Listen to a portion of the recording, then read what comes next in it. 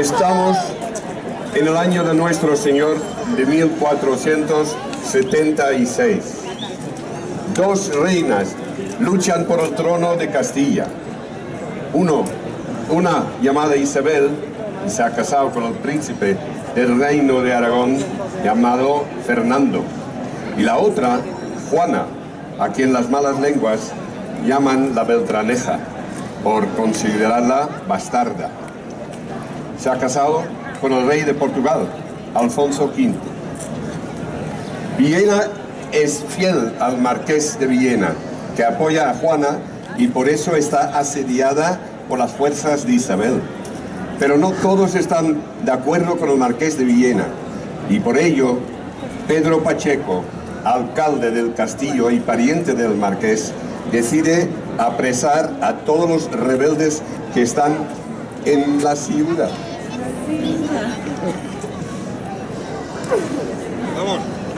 Cristóbal de Mellina, sal. Aquí estoy. Aquí estás, traidor. Cógelo. No te resistas, Cristóbal. Sabes que será mejor. Desármalo. ¡Cobarde! ¡Sois un cobarde! ¡No es traición! ¡Si se defiende a Castilla! ¡Y a su reina! Es un loco y un necio. ¿De verdad creíais que podíais ir en contra del marqués? ¿Tan necio sois? ¿Necio? ¿Yo necio? Y vos sois un mal dirigente, un cobarde. ¡Me debéis un duelo! Yo a vos no os debo nada. ¡Me lo debéis! ¡Me lo debéis! Siquiera sois noble. Por mi hermana y por la vuestra. Yo no tuve nada que ver con eso. ¿Nada? Además de cobarde, de vil, de mentiroso, malnacido y mal parido. Ella murió entre vuestros brazos. ¡Negadlo! Yo no tuve nada que ver con aquello. ¿Lo sabéis? Demostrarlo. Que sea Dios quien lo demuestre. Tenéis la lengua demasiado afilada, Cristóbal. Y vosotros la espada muy poco. Dale una espada. ¡Me das una espada! ¡Dalo!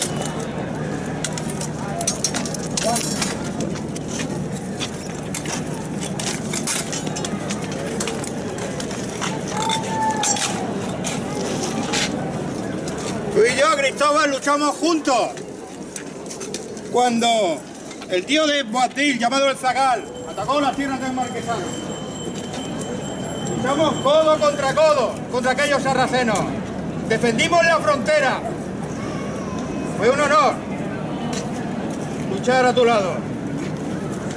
Y será un honor arrebatarte la vida. Estamos juntos, es verdad. Estamos en buenos tiempos, por una causa justa. Y mirad en lo que os habéis convertido. Solo servís a los intereses de una reina que solo quiere empobrecer al pueblo de Villena y a todas sus gentes. Y luchad, sabéis que no es por política. Sabes que se casó con un rey de Aragón. ¿Cuántos años ha estado Villena luchando contra Aragón? ¿Cuántos? Hasta que la reina cometió el error de poneros a vuestro servicio.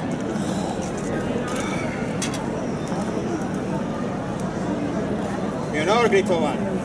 Ya ven la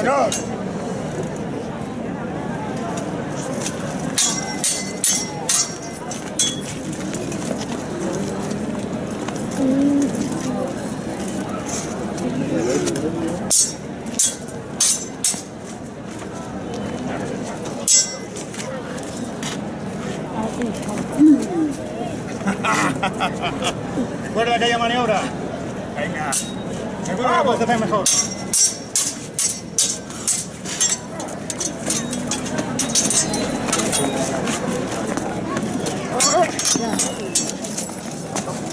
¡Ya!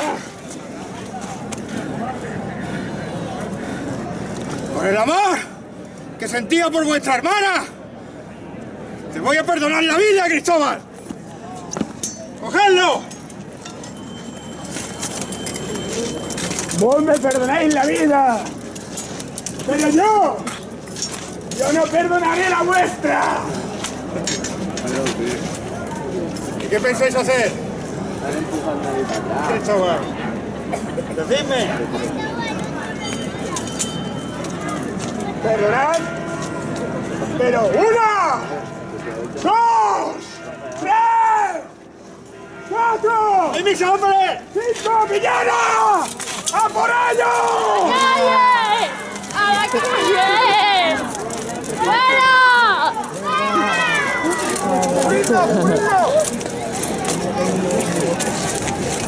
¡Iros! ¡O haremos una masacre aquí! ¡Vamos! ¡Proteger a!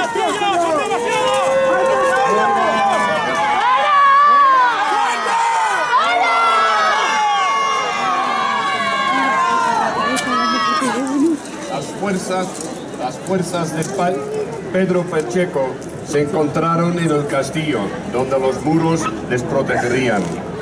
Pero mientras esto, ocurriría algo terrible en las calles de Viena. ¡Cristóbal! ¡Cristóbal! ¡Ha sucedido algo terrible!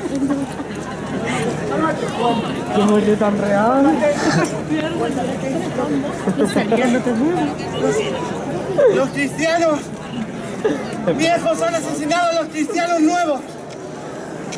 ¿Qué, qué dices? ¿Qué estás diciendo? ¿Qué locura es esa? Vamos a verlo.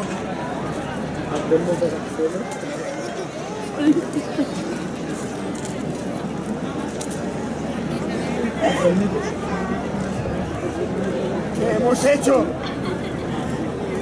¿Qué hemos hecho? Quiero el nombre y apellido de todos los que han participado. Por mi fe y por mi honor. Que esto lo sabrá la reina. Ya veremos si ella es capaz de perdonarlos. Nosotros desde luego no. El dolor estaba en la ciudad de Viena, pues en un arrebato de ira, los cristianos viejos de Viena habían asesinado a los cristianos nuevos. Los cristianos viejos han matado a los cristianos nuevos. Mientras tanto, Pedro Pacheco había visto desde el castillo el horror que había acontecido en las calles.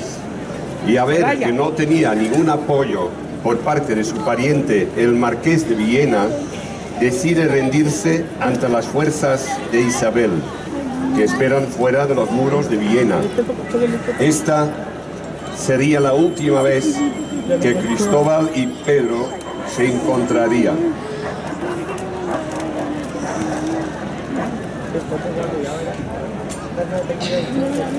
¿Esto es lo que querías, Cristóbal? ¿Esto es lo que querías conseguir? ¿Esta es tu rebelión? ¿Esta es tu nueva reina? ¿Esto? ¿Esta? ¿Esta? ¡Esta es vuestra locura! Nos habéis engañado, nos habéis incitado a los unos contra los otros. Y ahí tenéis vuestro premio, recogedlo, recoged vuestros premios. En mis manos, Cristóbal. Están limpias de sangre. Sois vos y el pueblo de Villena el que tiene las manos manchadas de sangre. No hace falta que seáis vos el que os hayáis manchado las manos. Les engañasteis, les manipulasteis. Pedro Pacheco, esto es un deshonor. Esto es haber dejado a la gente en manos de asesinos. Esto, Pedro Pacheco, esto no tiene perdón. Es más,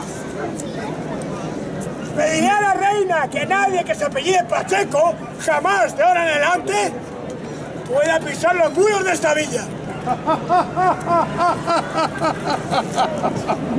Habláis en serio, ¿verdad? ¿No, veis no os habéis dado cuenta del pecado que habéis cometido? Manchando los manos de los ciudadanos de Villena. De cristianos nuevos. De judíos y moriscos conversos. Dime, ¿qué le vas a hacer a tu reina? ¿Vas a pedir que perdonen esta masacre? Eso haré. Y además le pedirás que nadie que tenga sangre morisca judía viva en Villena. Eso haré. Y que nadie que se llame Pacheco también. Por mi honor. Eso haré. Toma. Ganado se hubiera conocido en circunstancias mejores. Tengo algo para vos. Ya que me habéis derrotado vos y no las fuerzas de Isabel, te entrego mi espada.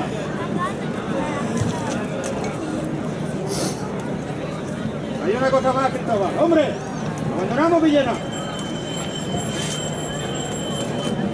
Hay una cosa más, Cristóbal.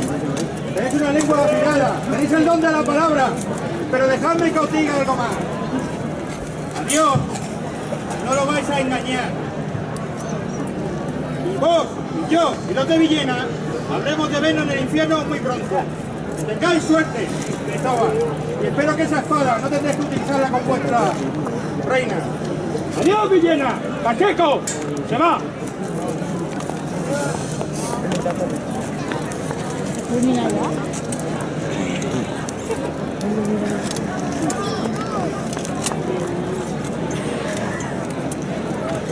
¿Y nuestras almas? Cristóbal, ¿qué será de nuestras almas? Me temo que la respuesta a esa pregunta sola la tiene el Santo Padre. Allí hemos leído a Roma, lo ponemos en sus manos en las de Dios. Y hasta Roma fueran los de Viena, a que el Papa les dijera qué podían hacer por la salvación de sus almas. Y el sabio Papa les dijo que a partir de ahora la iglesia de Santa María, cada vez que el cuerpo de Cristo se consagre, no tocarán las campanas tres veces, sino cinco para así recordar no solo los que vivieron, pero sí recordar los que murieron, y así sus almas podrían descansar en paz. Y de esta manera fue como en la ciudad de Viena, cinco campanadas consiguieron convertir a Isabel en la reina más grande de su tiempo. Gracias a todos por venir.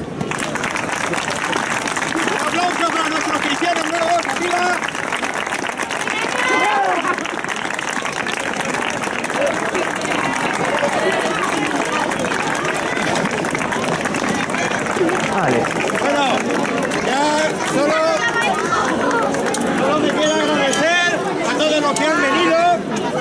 Han podido ver, la leyenda de las cinco campanadas no es una leyenda un poco cruel. Y aunque no se lo crean, esto es una ficción, pero está basada en hechos reales. Para que se hagan una idea, a Isabel se le, se da una carta con los nombres y de todos los que participaron en, en la matanza. Y Isabel los perdonó a todos. También les concedió que nadie, apellidado Pacheco, estuviera en Villena y que nadie que tuviera sangre de morisco judío estuviera en Villena. Lo último no es verdad porque sí que hubieron moriscos judíos después, pero se lo concedió. Entonces yo solo me queda agradecer a todos los que han venido, gracias a nuestros amigos, los cristianos nuevos que se han sacrificado aplauso que siempre están aquí para echarnos una mano. Y ya